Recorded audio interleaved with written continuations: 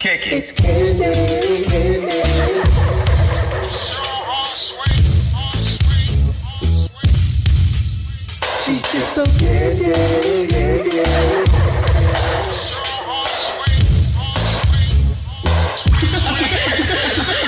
candy.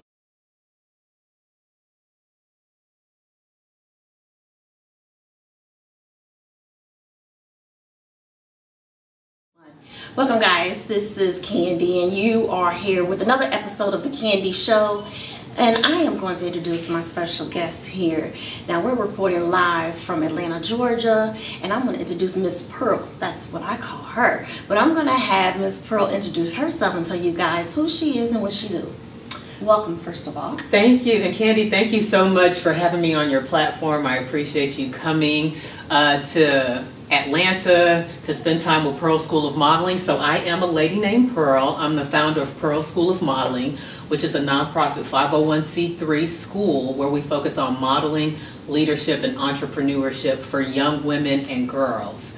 I started in 2014, but prior to uh, found, founding this school, I was a former Ebony Fashion Fair model. I'm a beauty queen, and I'm also a professor uh, at a university, Clark Atlanta University. I've been a professor there for seven years, six years, excuse me, teaching leadership and uh, professional development. Okay, okay.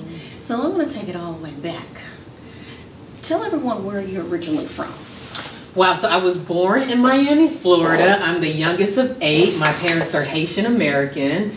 Uh, growing up, it was five girls, so we were always compared in terms of beauty, and I did not like that game. So I didn't grow up thinking I was going to be a model because I wasn't the prettiest girl in our family. So I kind of went inwards and became a um, more inward person, focusing on academics and so forth. So that's where it started. Um, Miami, Florida, youngest of eight. Okay. Mhm. Okay. And so my question to you is, is that you just spoke about not being the prettiest. Mm-hmm. How challenging was that for you? Just not just so much as in your family, but Yeah. how challenging was that as far as going into the modeling industry and tell me Well. I think it made me more level headed. I think it might have been a gift for uh, the parents, you know, not to pretty, pretty, pretty, even though my mom is, you know, um, into that. I think it was a gift because I see some girls come into the modeling industry thinking that it's only their looks that's going to get them to the top when it's about your business acumen, how you present yourself, how strategic you are in understanding your market and who you are as a product and aligning yourself with companies or um, brands that relate to who you are as a model. So modeling is just not about having a pretty face. It's about understanding the business and also being business minded as well. So I think it helped that I didn't carry my beauty on my arm, but that I was level headed and said, okay, I'm coming into this industry. Yeah, it's important for you to be beautiful, but it's also important to um, be easy to work with, to be on time, uh, whenever your agency is sending you different castings to to respond to those castings so that they know that you're ready to work. So it's all of those different things. Now, how tall are you? I'm 5'11", so I've been blessed with height. Um, I know in the industry, the, the industry can be very uh, discriminatory in terms of height, body diversity, and even racial diversity. So for me to be born 5'11", that already gave me a leg up in the industry. Um, but there's there's still you know other hoops that you have to jump um, because everybody wants to be a model. Okay. And so when did you come to Atlanta, Georgia? I came to Atlanta, Georgia in 2006. So at the time, um, prior to coming to Atlanta, I was modeling for Ebony Fashion Fair. And for those of you that aren't familiar with Ebony Fashion Fair, uh, Ebony Fashion Fair is um, from Ebony Magazine. At one point, Ebony Magazine was the number one African American magazine globally. And what they would do is they would select 12 10 women and 2 men to travel to 200 cities in the US, Canada, and Caribbean and do runway shows to raise money to help underprivileged kids go to college. So I did that and while I while I was on tour, I met a mentor that said you're so bright, you're so smart.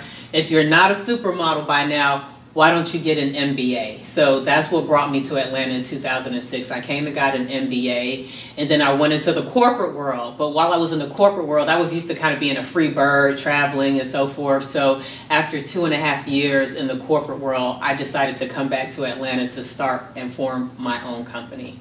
You have something that's called Model Talk Tuesday. Tell Yes. us a little bit about that. Yeah, so Model Talk Tuesdays is a live Instagram platform that I do on my page to give anyone that's interested in the modeling industry advice because we've all been through it. Not all of us, some of us. I've been through it.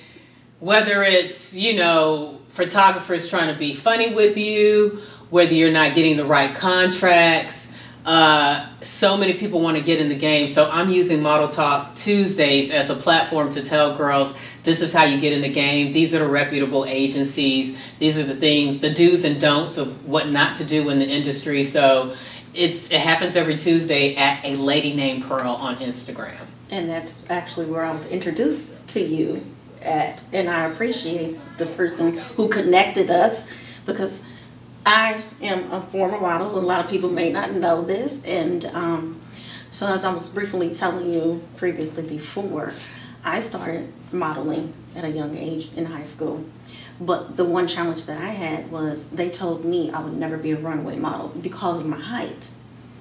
Fast forward, which is why I end up starting Candy Productions Model Management because I feel like everyone is a model. When you wear someone's clothing, you are modeling someone's clothing. And so what we did was is we wanted to make sure that ladies and gentlemen who ever wanted to be in the modeling industry, come on. You know, we don't just design clothes. People don't just design clothes for one specific size, height, and etc. So um, this is again one reason why you know I feel like God put put people in your path for reasons. And as I spoke to you before, is a reason why we met. Everything that I saw in you is everything that I seen in myself. And so it's really important for me to definitely come down here and understand your story and what is your vision and help you make that vision continue to prosper. So that is the one thing that I, I, I um, wanted to say. So for those who didn't know, is one reason why we're connected right now is because yes, I did own a, a previous did a model management company, and also by the grace of God was able to be on another project associated with modeling. And um, I just want to tell you first of all, I want to say thank you um, because what I seen today with Pearl School of Modeling I'm just so it humbles me. And as I said before, we were looking, and I'm like, oh my gosh, everything that you're doing is everything that I enjoy doing as well. So mm-hmm. let's pick up with that. Mm-hmm. Today we were bra- gracious, and you were gracious enough to allow us to be in your class. So talk about Pearl School Modeling. Yeah, so first and foremost, thank you for starting the company that you started because I feel no one should be limited on their dreams. And if you are limited or if an industry doesn't want to take you, you start your own lane. You create your own path in your own lane. So congratulations to you on that and um, giving that to other people. So at my school, similar to your theory, it's about modeling the best you. So I also believe everyone is a model. When you walk out that door, you are representing yourself. So why not represent your best self? So today with the girls, um, because I taught at a collegiate level, when I'm working with the youth ages 9 to 17, I give them projects um, that I gave my students on a collegiate level to teach them leadership because I want these girls to grow up and be strong, confident women that can own a room regardless if it's a board room, any type of room. I want them to feel comfortable in it. So today they had an entrepreneurship project and they got together in teams collectively and they had to start their own clothing line, uh, create a mission statement, a price point, how they're going to market it, and they um, did it in groups because, of course, we have to work in teams in order to manifest our goals and our dreams. So uh, we're not just modeling, we're modeling leadership and entrepreneurship. So they're 12, 13, 14, but I still want them to get comfortable presenting so that um, back to that model, modeling is just not about wearing clothes. Modeling is about modeling your spirit, you know, giving that, that best you. So that's what we did today. So do you usually work with that specific age group? That's the group that um, I'm focused on right now. Okay. But we do take adult students. So once a year, typically during the summer, we'll do a six week adult class because I do have adults saying, Hey, Pearl, sometimes the moms, they're like, We want this training, Pearl, that you're giving the daughter. Like she's doing elevator pitches. I've seen her posture improve, I've seen her confidence improve. Can I get in on this? So um, I do private lessons with adults, and we also have an adult college, an adult summer class that's coming up. So eventually, we will be moving strongly in the realm of adults as well. Okay, and do you work with young men as well? When we started, we did, but it was like two or three young men in the class. So eventually, I kind of just took the men out.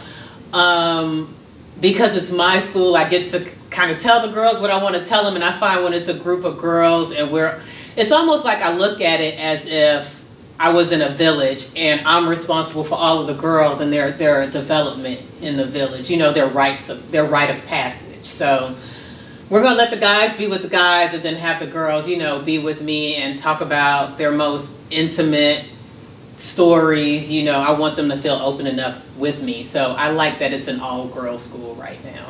Mm-hmm. And that's kind of where my heart is as well. I mean, Mhm. definitely both both have my heart, but it's the young ladies Mhm. is really who I resonate with Mhm. because I'm a young lady. Right, exactly. And when I see the young ladies out there, and especially for today, I, I I saw some that were really a little shy. I saw some that had the confidence, but as I spoke to you before, modeling doesn't just make you stand on a runway. It builds confidence. Some people might just want to do it just to see, hey, well, can I do it? Can I be a model? I just want to. I, it's actually it goes it's individually whatever it means to you doesn't necessarily mean modeling is going to be the same thing for me but at the same time um, i think it's definitely something that a lot of the young ladies should want to take be partake in because it it kind of helps you get ready for the world it does. It does. especially what you did with the young ladies the things that they learn in this class they can take and they can use it every day for the rest of their life leadership Mm-hmm. confidence Mm-hmm. and i like exactly what you told the ladies when you get out there i said the same thing you command you command that attention Mm-hmm. so i loved it I, I completely loved it I, I wanted to do the class myself yes, yes. And there was something that you mentioned um,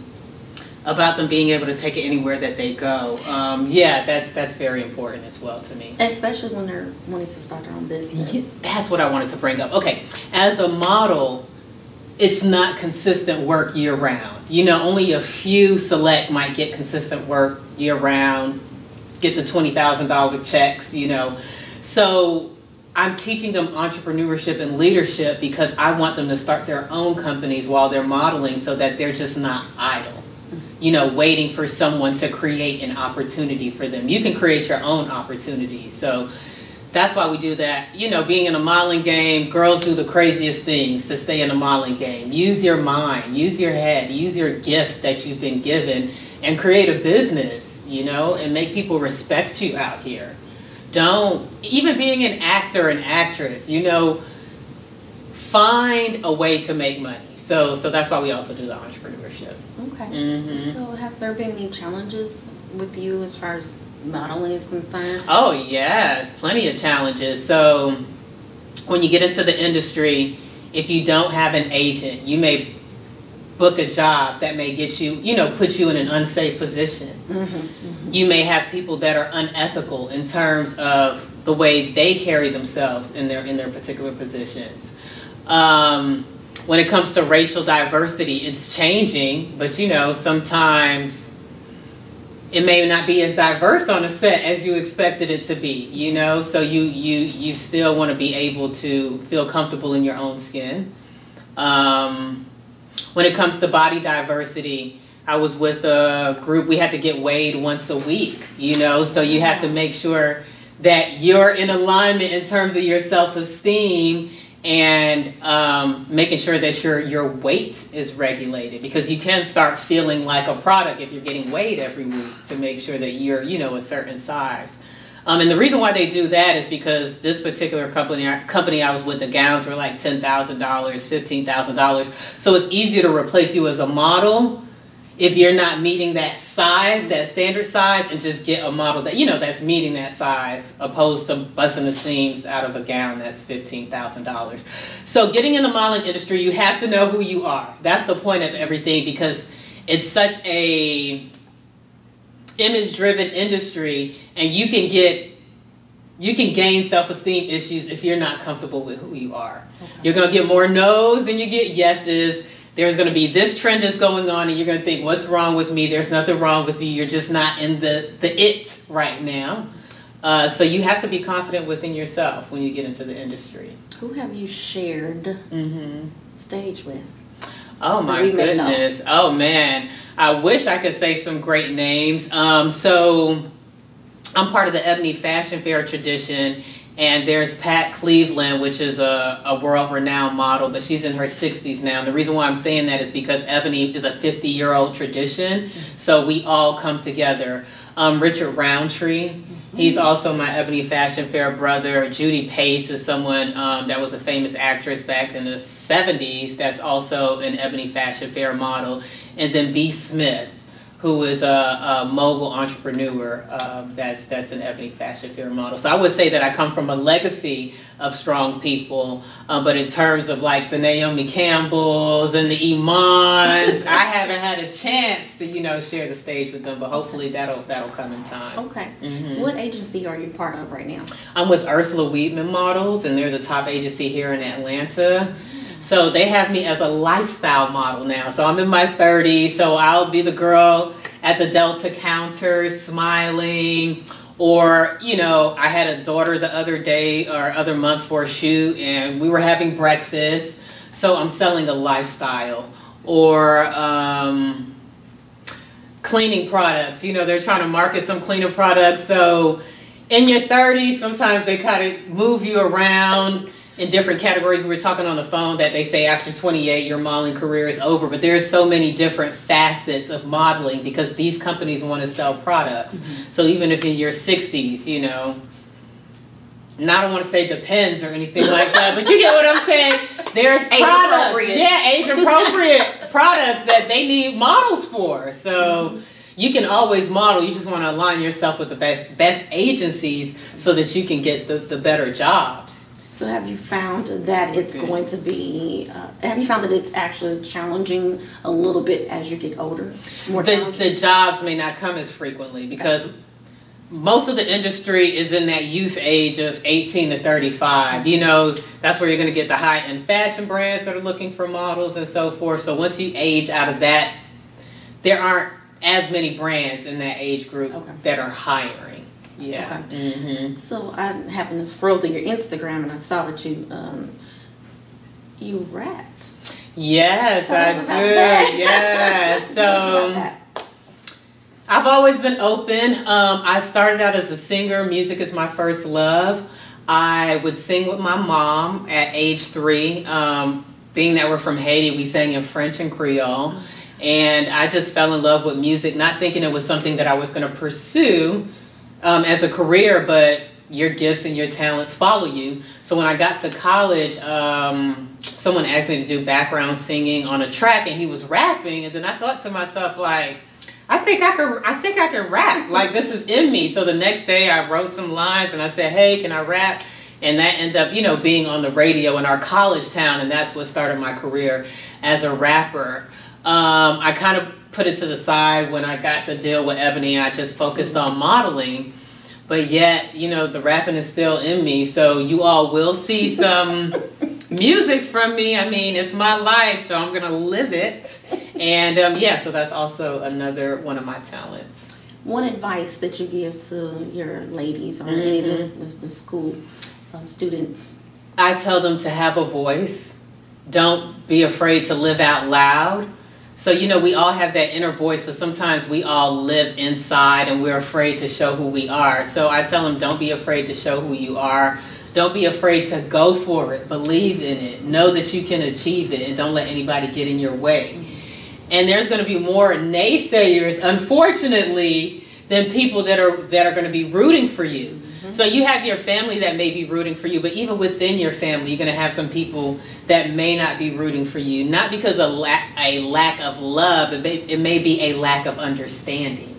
So you have to depend on that inner voice because it's your job to manifest what's calling you from within. That's the only job you have while you're here on this earth. So um, that's what I teach them. Okay. Mm-hmm. So, is there anything that we haven't touched on that you want to make sure that the audience knows about? Besides, your, we're we're gonna get you your contact information. uh, I would say, you know, it sounds cliche, but don't don't be afraid to be you. You don't have to answer to anyone. You know, no one's your creator. Yeah, you came through your parents, but at the end of the day, they're just there to guide you. So um, don't feel like you have to answer to anyone. Be free. Be yourself. As long as you're paying your bills and taking care of yourself, you don't have to answer to anyone. Um, I feel like a lot of us are halted um, in terms of expressing ourselves, and that's the worst place to be. It's not a comfortable space, it's a miserable space. Uh, so I just want everybody to unleash the greatness from within. And the way you do that is just by not caring. You know, I used to be a people, I wasn't a people pleaser, then I became a people pleaser, now I'm not. And it just feels so much better on the other side when you're not pleasing people, you're just being. Mhm. So, go ahead and tell everyone how they can contact you, uh, personal, and also your school of modeling. Yes, so um, you can contact me directly at a ladynamepearl.com or any of my social medias Instagram, Facebook, all is a lady named Pearl. If you want to get directly in contact with our company, you can reach us at 404 378 2837. Well, I thank you so much for allowing me to come down here, sit into your class, and definitely I want to make sure that we stay in contact. Absolutely. And um, I wish you nothing but the very best. Thank you, Candy. I appreciate it. Likewise. Same to you. Aw, thank, Thank you, you, sis. thank you, thank you, thank you. And if yeah. you don't mind, would you take us out of here? Sure. So this is a lady named Pearl and Candy Productions signing out from Atlanta, Georgia. Bye. Bye.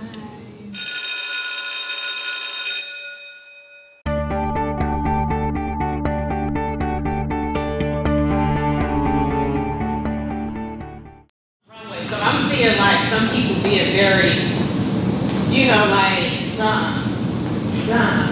When everything really supposed to be smooth, every turn is supposed to be smooth. You get what